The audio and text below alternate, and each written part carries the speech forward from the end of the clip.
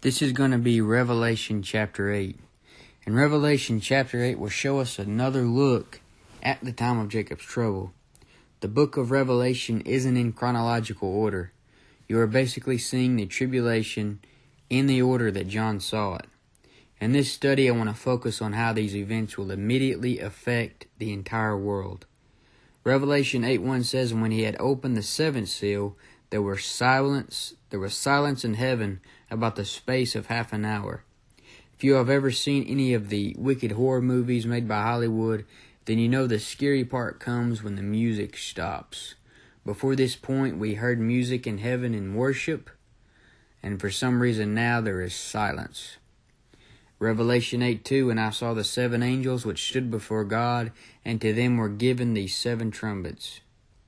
This goes right along with the sets of seven in the book of Revelation.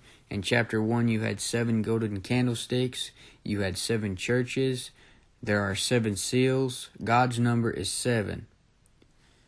Uh, Revelation 8 3 says, the And another angel came and stood at the altar, having a golden censer, and there was given unto him much incense, that he should offer it with the prayers of all saints upon the golden altar which was before the throne and a censer is a container where you would burn the incense. And if you look at Psalms 141 and verse 2, it says, Let my prayer be set forth before thee as incense, and the lifting up of my hands as the evening sacrifice. God loves the prayers of his saints. The Bible says they're like incense. And God even keeps the prayers that we pray in bottles. If you remember in chapter 6 of Revelation, in verse 10, it says, And they cried with a loud voice, saying, How long, O Lord, holy and true, dost thou not judge and avenge our blood on them that dwell on the earth? That was a prayer from the saints that out of the time of Jacob's trouble. So the angel with the golden censer is given much incense, and he offers it with the prayers of all saints that prayer back in Revelation 6:10, those imprecatory prayers that the saints prayed there. Revelation 8:4 says, "And the smoke of the incense which came with the prayers of the saints ascended up before God out of the angel's hand." God hears our prayers and they're going right up there to him. Revelation 8:5 And the angel took the censer and filled it with the fire of the altar and cast it into the earth and there were voices and thunderings and lightnings and an earthquake.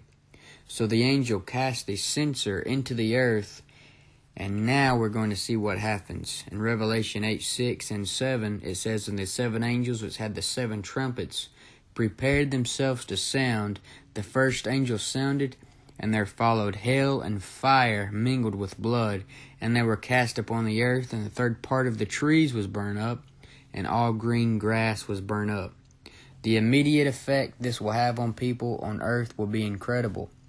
The hell will be busting up cars and houses.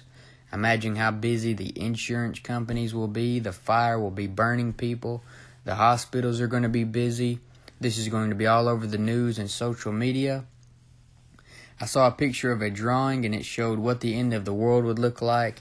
It had a meteor headed towards the earth and everyone had their phones up taking a picture. And I can see people people taking pictures of this fire and hail that comes down from heaven. But this fire and hail mingled with blood will also destroy a third part of the trees and all the green grass. And people spend so much time trying to make their yard look good. Yet it is going to be destroyed eventually. And this shows that God does not care about trees like everyone thinks he does. Revelation 8 and verse 8 says, And the second angel sounded, and as it were a great mountain burning with fire was cast into the sea, and the third part of the city, third part of the sea became blood. This great mountain here in verse 8, burning with fire, could possibly be a city. If you look at Jeremiah 51 verses 24 and 25, it says, And I will render unto Babylon and to all the inhabitants of Chaldea all their evil that they have done in Zion in your sight, saith the Lord. Behold, I am against thee, O destroying mountain, saith the Lord, which destroyest all the earth, and I will stretch out mine hand upon thee, and roll thee down from the rocks, and will make thee a burnt mountain. So here in Jeremiah 51 25, he makes a city a burnt mountain. So this great mountain in Revelation 8 could possibly be a city by comparing it with these verses in Jeremiah. Then Revelation 8 9, and the third part of the creatures which were in the sea and had life died, and the third part of the ships were destroyed. Imagine all the animals that will wash up onto the land. There are probably species that we haven't even discovered yet, which, which will wash up on land. And if there is a Loch Ness monster and other creatures like this, they may wash up as well and I can see this being all over the news with all of this other stuff. And if that Jason A character who makes all of the end times news compilation videos was going to be here during the tribulation, then he would have a massive amount of clips and videos to compile together. But verse 9 also says a third part of the ships are destroyed. Some cruises will turn into nightmares.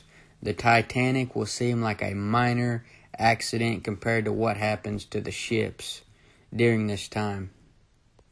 Revelation 8, 10, and 11. And the third angel sounded, and there fell a great star from heaven, burning as it were a lamp, and it fell upon the third part of the rivers, and upon the fountains of waters, and the name of the star is called Wormwood, and the third part of the waters became wormwood. And many men died of the waters, because they were made bitter. Okay, so you have a great star that falls from heaven, and this could be a literal star. And if it is, then stars are a lot smaller than people think because it would just knock the earth out if it hit it. Or it could be an angel. Angels are mentioned as stars several times. In Job, they're referred to as morning stars. In Revelation 1, they're referred to as stars. Satan's tail will draw the third part of the stars, which is referring to the angels. So this star could be an angel. And if it is, we have another angel with the name, which is a rare thing. It doesn't usually say the angels' names. The star or angel is named Wormwood, and it affects the waters, making them bitter. This will have immediate effect on people.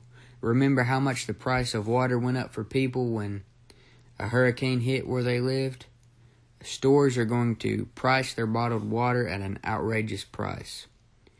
Another interesting thing is many of God's people will be able to drink these waters without dying.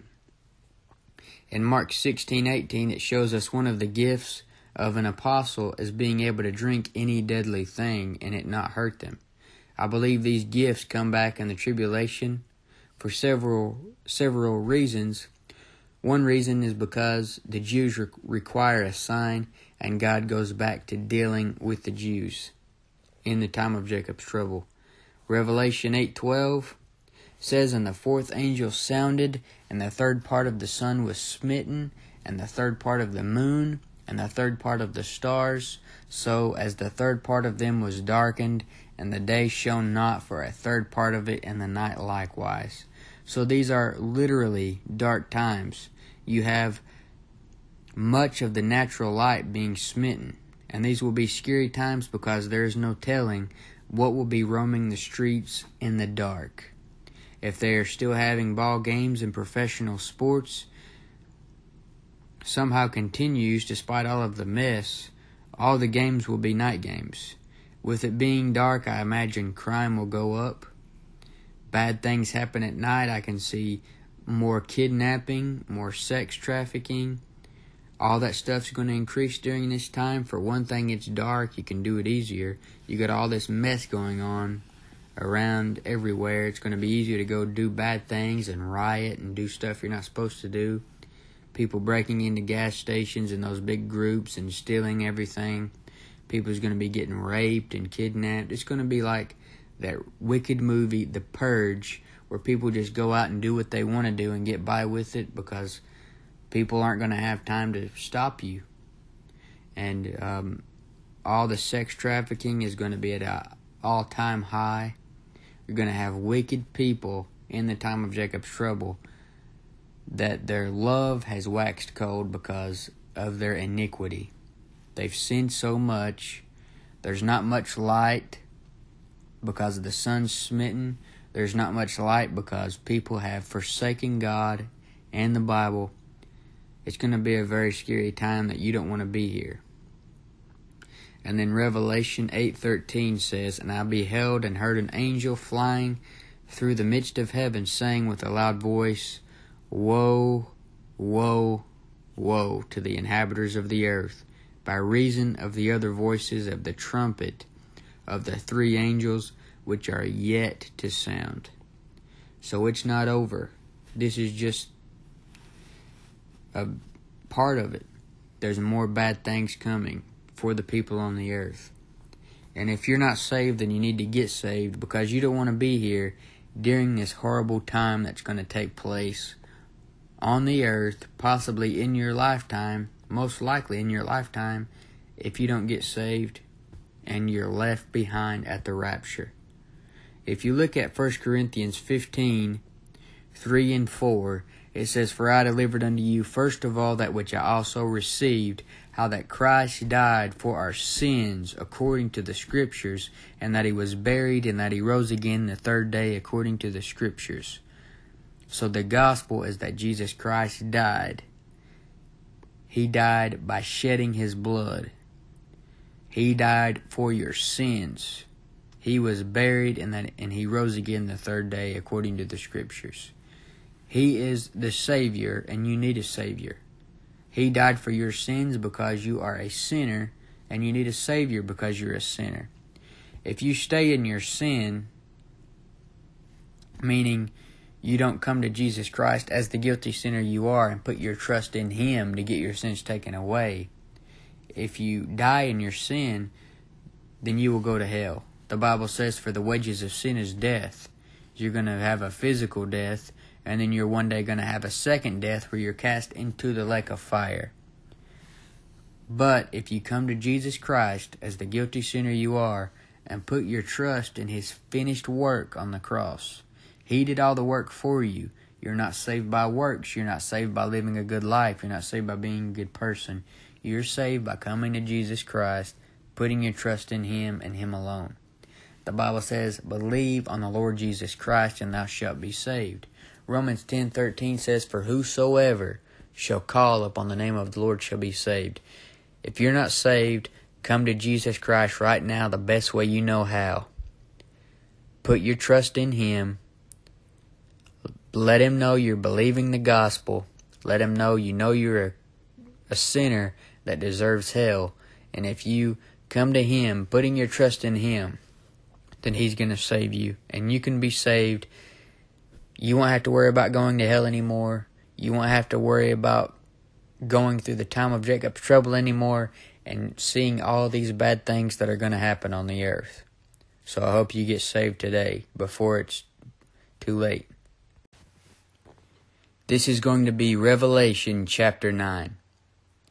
And we're going to see how the Hollywood horror movies and just movies in general have once again stolen plots from the book of Revelation. As you read Revelation, you can see how many writers, books, movies have copied the things written in the book. As we look at chapter 9, let's point out some of these stolen concepts.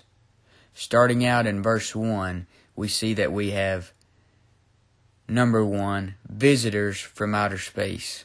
Revelation 9 1 says, And the fifth angel sounded, and a star fall from heaven unto the earth, and to him was given the key of the bottomless pit.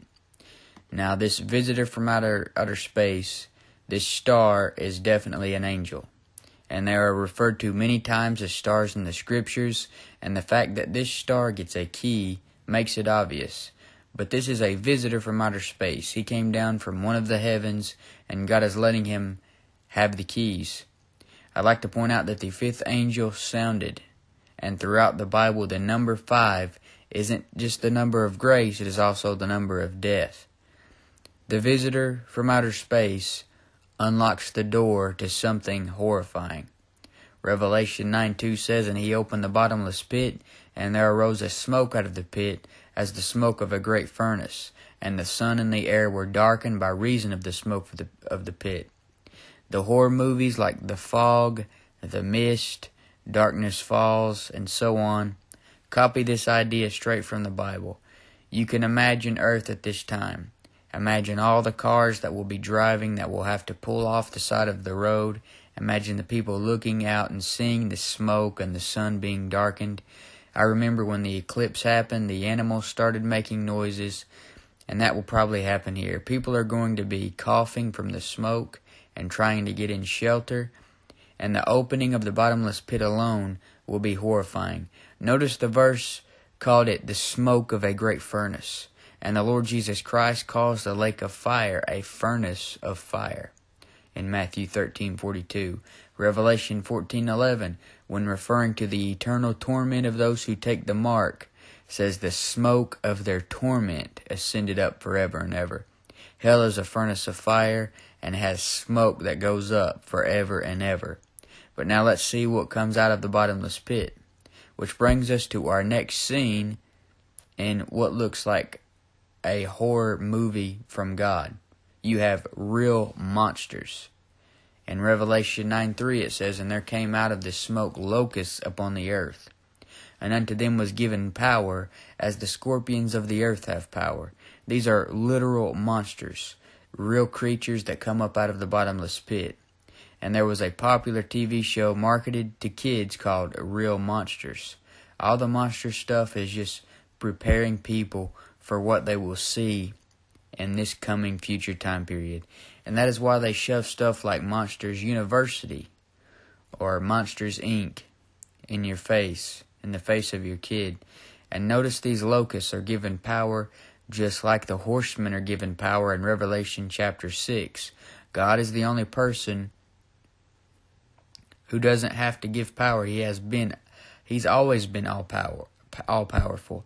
He doesn't have to be given power. He gives the power. And these locusts have power as the scorpions of the earth have power. Jesus Christ gave the apostles power to tread on scorpions. As of right now, those apostolic sign gifts have ceased, but I believe they are coming back in the time of Jacob's trouble. Luke 10:19 says, "Behold, I give you power to tread on serpents and scorpions and over all the power of the enemy, and nothing shall by any means hurt you. So for God's people, for God's people who have the gifts of an apostle, they will be able to tread on scorpions, on these scorpion like creatures, if they need to. But look at more of the descriptions of these creatures. Revelation 9, 7, and 8 and the shapes of the locusts were like unto horses prepared unto battle, and on their heads were as it were crowns like gold, and their faces were as the faces of men, and they had hair as the hair of women, and their teeth were as the teeth of lions. A good reason for a man not to have long hair is because it will make him look like these guys. They have faces like men, but they have hair like women. So there's another good reason for a man not to have long hair. And if their teeth are as lions, they would rip you in half no problem. Revelation 9 9 and 10, it says, And they had breastplates as it were breastplates of iron, and the sound of their wings was as the sound of chariots of many horses running to battle.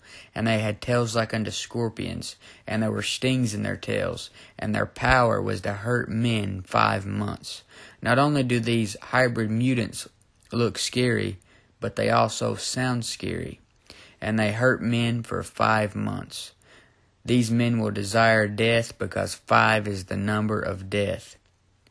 Uh, Revelation 9 4 says, And it was commanded them that they should not hurt the grass of the earth, neither any green thing, neither any tree, but only those men which have not the seal of God in their foreheads. See how God is taking care of the 144,000 from chapter 7 who have the seal of God in their forehead? Brings us to our next scene and what looks like a horror from God, which is torment. Revelation 9 5 says, And to them it was given that they should not kill them, but that they should be tormented five months. And their torment was as the torment of a scorpion when he striketh a man. Men love movies about torture, which is shows man is a very wicked, sinful person. Uh, there's something wrong with someone that likes to watch other people suffer on screen but something in man loves to watch others suffer. Even when I was lost, I couldn't bear to hear or watch a movie that had torture. It takes a sick mind to enjoy it. And this scene is God Almighty letting out His wrath on sin. And you see, these people are most likely atheists. They are under strong delusion. They would think death would relieve them of pain. Yet if they died, they would be in even more pain in hellfire. That's why I believe that they're atheists. Why would they desire to die knowing that God's real and that they're going to go to hell? Revelation 9 6 says, And in those days men shall in those days shall men seek death, and shall not find it, and shall desire to die, and death shall flee from them. And now you have a bunch of people who should be dead. You have a bunch of people who have more than 13 reasons why they want to commit suicide. They are probably weeping, wailing, gnashing of teeth, crying, and cutting themselves with stones. And they are basically dead, but yet won't die. So you have something like a zombie. And so that is the next scene in God's horror horror script, a zombie apocalypse. People love these wicked horror movies, so God lets them live out this horror movie in real life. Better than virtual reality. It's really happening. And now these locusts, they have a king over them. This king brings us to our next scene in this reality horror movie, which is about a resurrected villain. All the horror movies have the villain coming back to life, like Jason Voorhees, Freddy Krueger, and all those other wicked horror movies that we should not watch as Christians. We've all watched movies we're not supposed to watch, most likely. I was a big movie watcher before I got saved. And now thinking back, see, all that stuff stuck in my head. That stuff didn't go away, it's still there. And now looking back, I see how all that stuff copied the Bible. Revelation 9:11 says, "And they had a king over them, which is the angel of the bottomless pit, whose name in the Hebrew tongue is Abaddon, but in the Greek tongue hath his name Apollyon."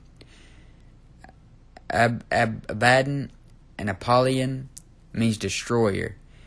Interestingly, one of the names in the Quran for Allah is Al Mumit, which means the destroyer. The devil is a destroyer, and I believe the angel of the bottomless pit is Judas Iscariot. He is the son of perdition, as Jesus calls him in John 17:12. Perdition means destruction, the Antichrist is also called the son of perdition in 2 Thessalonians 2 3, so you have the similarity there.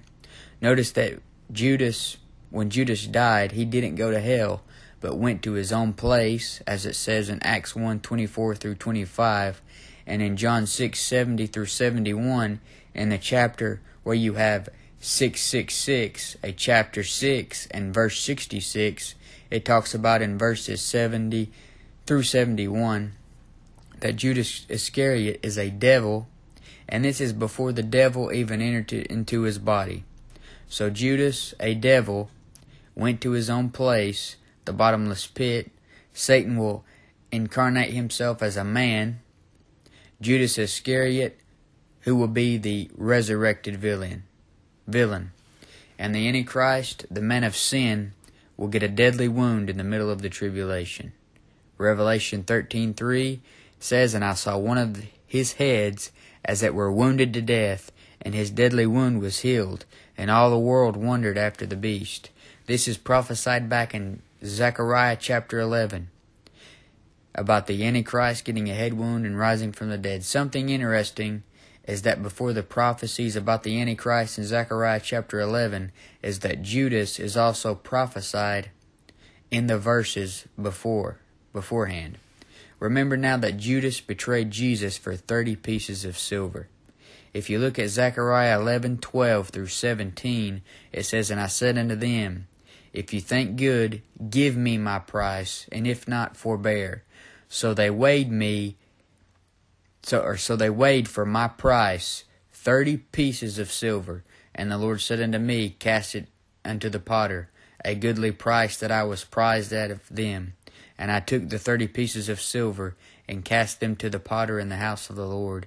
Then I cut asunder mine other staff, even bands, that I might break the brotherhood between Judah and Israel. And the Lord said unto me, Take unto thee yet the instruments of a foolish shepherd. For lo, I will raise up a shepherd in the land, which shall not visit those that be cut off, neither shall seek the young one, nor heal that that is broken, nor feed that that standeth still, but he shall eat the flesh of the fat, and tear their claws in pieces. Woe to the idle shepherd that leaveth the flock. The sword shall be upon his arm, and upon his right eye. His arm shall be clean dried up, and his right eye shall be utterly darkened. The idle shepherd is the Antichrist.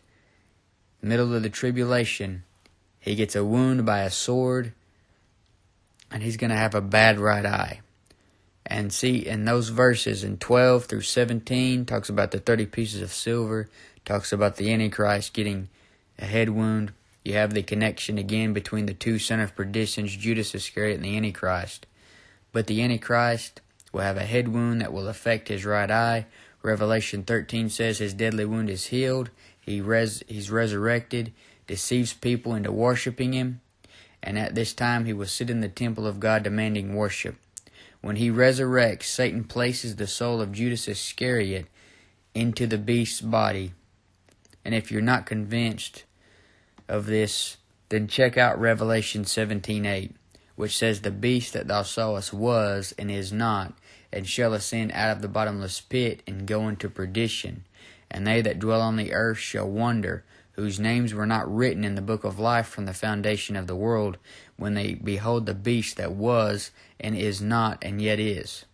You see, Judas was, he was here in a physical body. He is not because right now his physical body is dead, and he shall ascend out of the bottomless pit and go into perdition. The Antichrist is referred to as the son of perdition. And when he comes back, he will deceive people with miracles, just like Judas had the gifts of an apostle when he was alive even though he wasn't a righteous man. Second Thessalonians 2 9 says, Even him whose coming is after the working of Satan, with all power and signs and lying wonders. So there is your resurrected villain, who is imitated by Jason Voorhees and every other serial killer in all these horror movies. Revelation 9:12 through 13 says, One woe is past, and behold, there come two more woes, two woes more hereafter. And the sixth angel sounded, and I heard a voice from the four horns of the golden altar which is before God. So there is a golden altar in heaven with four horns, just like in Exodus 30. But now is about to be revealed the next scene in God's real life horror show, which is a swarm of monsters that are unleashed. And you can see this in movies like Goosebumps. If you have seen the trailer for this, it has a bunch of devilish creatures unleashed out of a book. In Revelation 9:14 through 16, it says, "Saying to the sixth angel, which had the trumpet, Loose the four angels which are bound in the great river Euphrates." And the four angels were loosed, which were prepared for an hour and a day and a month and a year, for to slay the third part of men. And the number of the army of the horsemen were two hundred thousand thousand, and I heard the number of them. So this is a two hundred million soldiers released to kill off the population. Revelation nine seventeen through eighteen. And I saw the horses in the vision, and them that sat on them, having breastplates of fire, and of jacinth and brimstone, and the heads of the horses were as the heads of lions and out of their mouths issued fire and smoke and brimstone. By these three was the third part of men killed by the fire and by the smoke and by the brimstone which issued out of their mouth. These are supernatural, fire breathing horses, and many believe that there will be an EMP that causes everything to go back to the horse and buggy days during this time. But who knows? And then Revelation 9:19 for their power is in their mouth and in their tails for their tails were like unto serpents and had heads and with them they do hurt. So they are hurting people with their tails that are like serpents. And one of the gifts of the apostles was to be able to take up serpents. God's people who will have these sign gifts again, once again in that time period. We don't have them now, but they'll have them again then. They will not be hurt by the serpents. The sign gifts come back during the time of Jacob's trouble because God continues dealing with the Jew during that future time. The next thing we see about God's real life horror show is that once again people don't learn from their mistakes. The only thing men learn from history is that men never learn from history. Revelation 9:20 through 21. And the rest of the men which were not killed by these plagues yet repented not of the works of their hands, that they should not worship devils, and idols of gold, and silver, and brass, and stone, and of wood, which neither can see, nor hear, nor walk. Neither repented they of their murders, nor of their sorceries, nor of their fornication, nor of their thefts. Just like in these horror movies, the victims never learn from stupid mistakes and walk right into the line of the killer that will go up the stairs instead of out the front door, that will go to the scary noises instead of away from the scary noises. As is here, people continue their idol worship and their rebellion, even though they have lost family and friends and have been dragged through hell on earth. But if you don't want to go through this horrible time, then you need to get saved before that time comes. Believe on the Lord Jesus Christ, and thou shalt be saved. 1 Corinthians 15, 3 through 4 gives you the gospel. It says, For I delivered unto you first of all that which I also received, how that Christ died for our sins according to the Scriptures, and that he was buried, and that he rose again the third day according to the Scriptures. So Jesus Christ died for you. He died for your sins. He was buried, he rose again the third day. And if you want to be saved, put your trust in that, what Jesus did on the cross for salvation. And if you do that, you can be saved and have eternal life. Come to Jesus Christ today as the guilty sinner you are before it's too late.